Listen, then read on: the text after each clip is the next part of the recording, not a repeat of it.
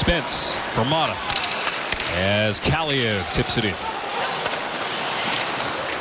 Shattenkirk. Kaliyev approaching him. Poked the puck free momentarily. Here's Byfield. We're talking about this line late on Thursday. Just want to put more positive shifts together for this group. As Byfield swings it around the boards. Couldn't be cleared by Comtois. Shot save. Stolarz. Rebound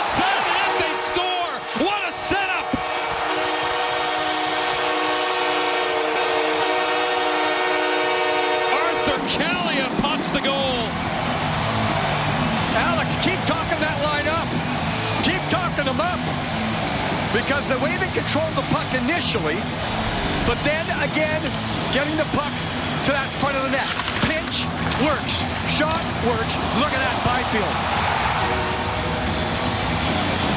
There's a hunger here, but right there, there's also an understanding of the spacing and how guys are not crowding each other, even though you're putting pressure on the puck. It all started with a pitch down the boards. A little bit extra, that one extra man getting involved on the forecheck. Kings lead, one to nothing.